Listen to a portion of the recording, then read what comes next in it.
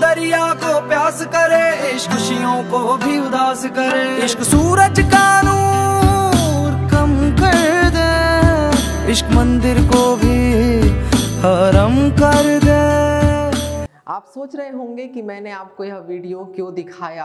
ये भी YouTube पर मौजूद हज़ारों वीडियो की तरह ही है, जिसमें हीरो और हीरोइन गार्डन में बैठे गीत गाते नज़र आ रहे हैं। लेकिन अब कहानी में थोड़ा ट्विस्ट है। अगर आपसे मैं ये कहूँ कि पर्दे पर नज़र आ रही ये खूबसूरत अदाकारा कोई हीरोइन या मॉडल नहीं है, बल्कि मध्य प्रदेश पुलिस की एक धाकड़ और दबंग आईपीएस अफसर है, जिसे देख कर खुखार अपराधी भी खौफ खाते हैं तो शायद आपको हैरानगी होगी।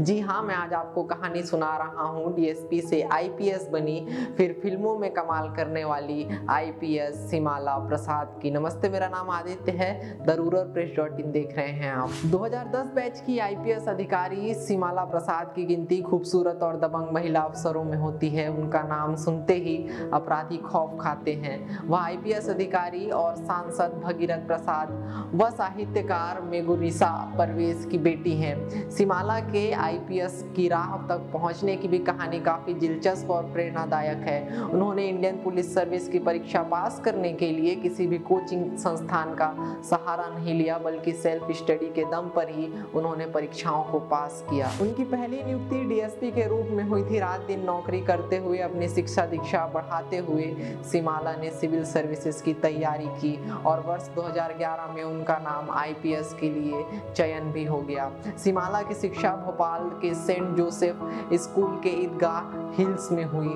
उसके बाद स्टूडेंट्स फॉर एक्सीलेंस में उन्होंने बी कॉम और बीओ में पीजी किया।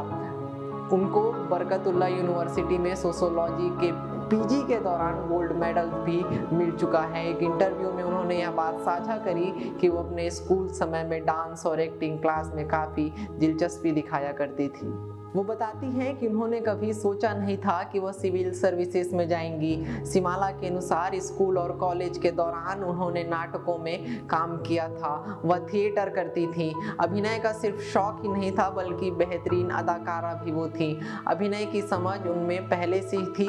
उन्हें लगा कि लोगों को अवेयर करने के लिए फ़िल्मों में भी काम किया जा सकता है। इसके कारण उन्होंने फ़िल्मों में भी अपना हाथ आजमाया।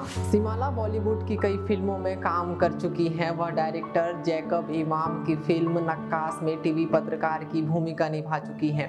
फ़िल्म में सिमाला हिंदू मंदिरों में नक्काशी करने वाले एक शख्स का इंटरव्यू लेती हैं। इस रोल में वो इतना डूबी कि टीवी चैनलों में को ऑब्ज़र्व करने लगी। इंदौर में सीएसपी विजयनगर और एसपी ईस्ट के पद पर भी वो काम कर चुकी हैं।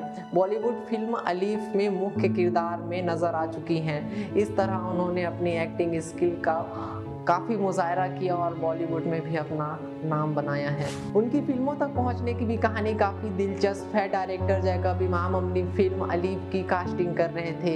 इसी दौरान दिल्ली के एक कार्यक्रम में उनकी मुलाकात इस आईपीएस अफसर में होती है और वो उनको ऑफ़र करते हैं कि आप क्या हमारी फ़िल्म में काम करेंगी।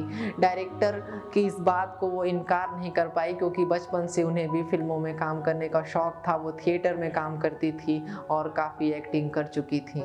बता दें कि मध्य प्रदेश कैडर की आईपीएस अफसर सिमाला 2011 बैच की आईपीएस अधिकारी हैं। अच्छी पुलिसिंग को लेकर सिमाला मध्य प्रदेश में सुर्खियों में बनी रहती हैं। प्रदेश के कई जिलों में वह एसपी के रूप में काम कर चुकी हैं। लॉकडाउन के दौरान भी उनकी एक कविता काफ़ी सुर्खियों में रही, लोगों ने उसे काफ़ी पसंद किया।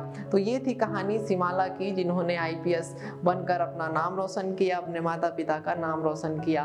अगर आपको यह वीडियो पसंद आया तो चैनल को सब्सक्राइब करें बेल आइकन को दबाएँ ताकि आने वाले वीडियोस का नोटिफिकेशन मिलते रहे। अगर आप हमारा वीडियो हमारे फेसबुक या ट्विटर पेज पर देख रहे हैं तो उसे फॉलो और लाइक कर दें। शुक्रिया।